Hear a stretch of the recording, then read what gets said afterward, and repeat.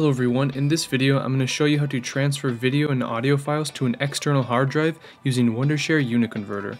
The all-new Wondershare Uniconverter can even detect an external hard drive you have connected to your PC, and this is helpful if you want to back up your videos, or in this case maybe audio as well. So let's go over the steps required to transfer our video and audio files. Step 1 is to launch the program itself, and then we'll go down to the transfer box. To access this, we need to go to Toolbox and Transfer.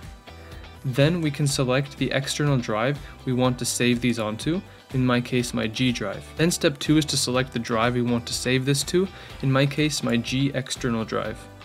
Then step 3 is to import our media to add to our hard drive. We can drag them into this area here, or in the drop down here select add files or add a whole folder. So I'll select some video I want to add, and then I can go back in and even add some maybe audio files that I want to add and back up. If you want to, you can preview these inside of the program. If you don't want them, you can cancel them and remove them from the list. And then step 4 is to choose a disk volume and transfer. We already selected my external drive here, and then we can transfer the files individually or all at once by hitting transfer all.